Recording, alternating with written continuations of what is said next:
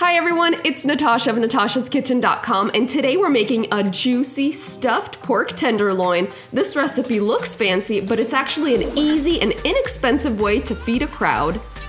Place a large oven-safe skillet or Dutch oven over medium heat. Add 2 tablespoons of olive oil, then 2 slices of chopped bacon and cook until browned. Add 1 3rd cup of finely chopped onion and 6 ounces of thinly sliced mushrooms. Saute until the mushrooms and onions are softened, then season with half a teaspoon of salt, a quarter teaspoon of black pepper, 1 4th cup of chopped parsley, and 1 minced garlic clove. Cook another minute stirring constantly, then remove it to a plate. That's all there is to the filling and it tastes and smells so good.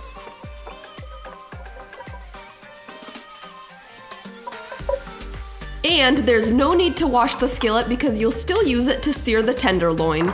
We're using a one and a half pound pork tenderloin and the first thing you wanna do is to remove the silver skin. To do this, get your knife just under the silver skin, tilt the knife up towards the silver skin and slice all the way through. Repeat until most of the silver skin is gone. You have to remove it or it will be chewy and tough when cooked.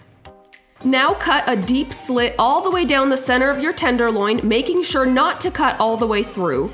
Open the tenderloin like a book, then cover with a sheet of plastic wrap and pound with the flat side of a meat mallet until it's one half inch thick.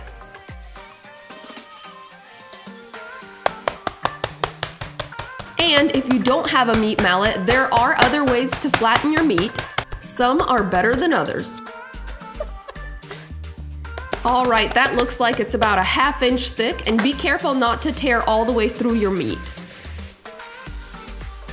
Now spread your mushroom mixture evenly over the surface of the tenderloin, leaving about a half inch space at the borders. Roll up the tenderloin tightly to completely enclose the filling. Roll starting with the lawn end or hot dog style and secure the ends with six or seven toothpicks. Poke the toothpicks through in the same direction, keeping in mind you will be searing the tenderloin on a skillet and you'll need a flat surface. You don't want those toothpicks poking in all different directions.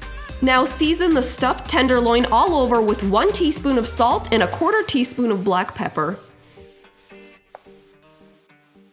Now heat that same pan over medium heat with 2 tablespoons of olive oil. Once the oil is hot, place the tenderloin in the skillet, toothpick side down, and sear for about 2 minutes per side or 6 to 8 minutes total. Then transfer the skillet with the tenderloin to the oven and bake at 400 degrees Fahrenheit for 18 to 20 minutes or until the thickest portion of your meat, not the filling, reads 145 to 150 degrees Fahrenheit. Transfer it to a cutting board and let it rest.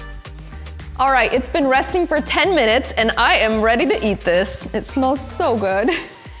and I'm getting hungry, it's lunchtime. But before you go any further, you make sure to take out those toothpicks because that could be very unpleasant. and it would be very difficult to slice. So they should slide right out.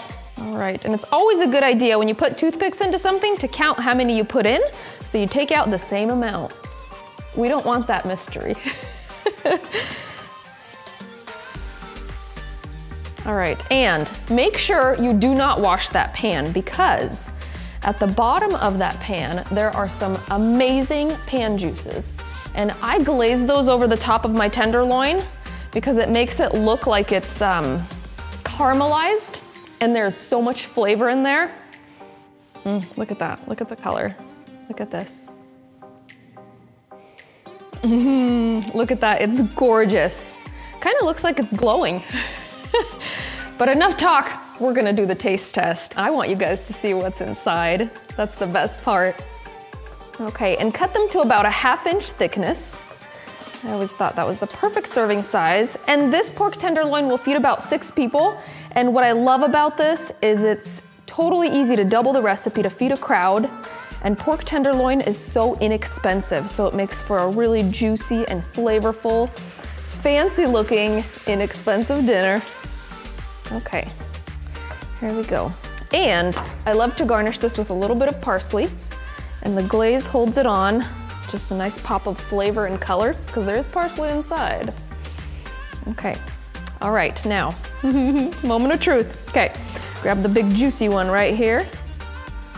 Oh, mm.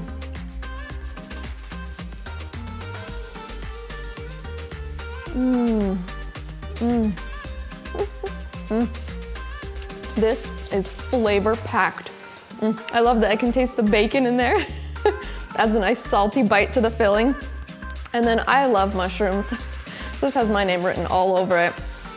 Wow, that is a scrumptious filling. It's kind of a nice surprise inside. It totally makes this look and taste super fancy but it's so inexpensive and easy to make. No marinating required. If you guys like this video, give us a great big thumbs up below. Make sure to subscribe to our channel and we'll see you next time. Hey, before you go, if you are a meat lover like myself, check out some of our all-time favorite protein-packed recipes right over here and right down there. And click below to subscribe. And when you do, make sure you click that little bell icon and you'll get notifications every time we post a new recipe. We'll see you next time.